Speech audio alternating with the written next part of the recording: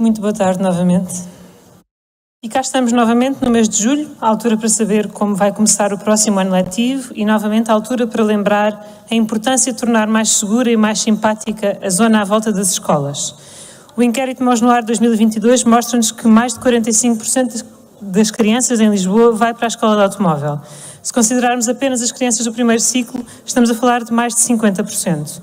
Este inquérito mostra-nos também que a percentagem de crianças que vai a pé para a escola diminuiu entre 2021 e 2022. O caminho para a escola é uma parte muito importante do dia a dia de uma criança e das famílias.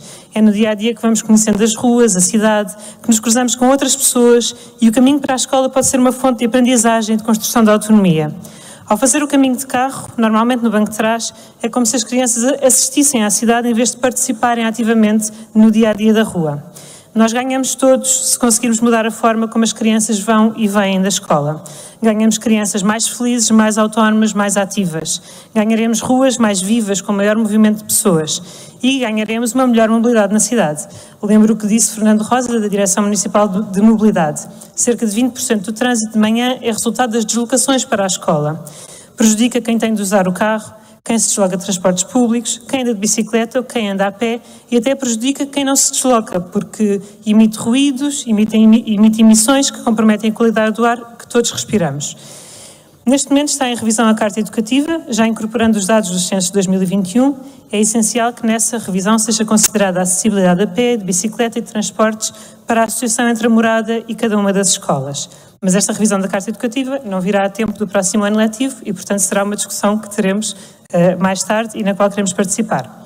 Está também em discussão a revisão ou atualização do Plano Diretor Municipal de Lisboa. Numa futura revisão do PDM, serão questões essenciais a acessibilidade às escolas, a localização dos vários equipamentos educativos ou os parâmetros do espaço público e da rede viária junto às escolas. Mas esta futura revisão do PDM não virá a tempo do próximo ano letivo, queremos participar nela e participaremos mais à frente. Então, o que é que vem a tempo do próximo ano letivo, mas que ainda não vemos a ser feito de forma. Uh, de forma uh, massificada.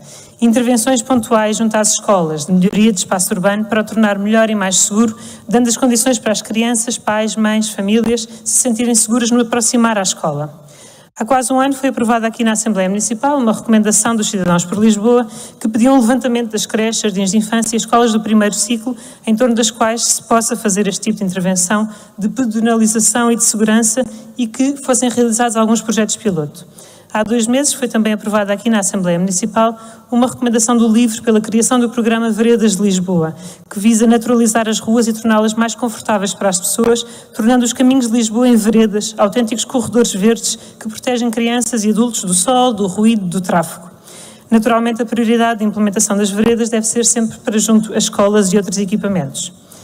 A transformação das ruas das escolas tem sido uma prioridade em Barcelona, onde já, onde já 217 escolas foram beneficiadas, ou em Paris, onde já 180 ruas foram pedonalizadas, permitindo que as crianças cheguem em segurança à escola. Mas não só.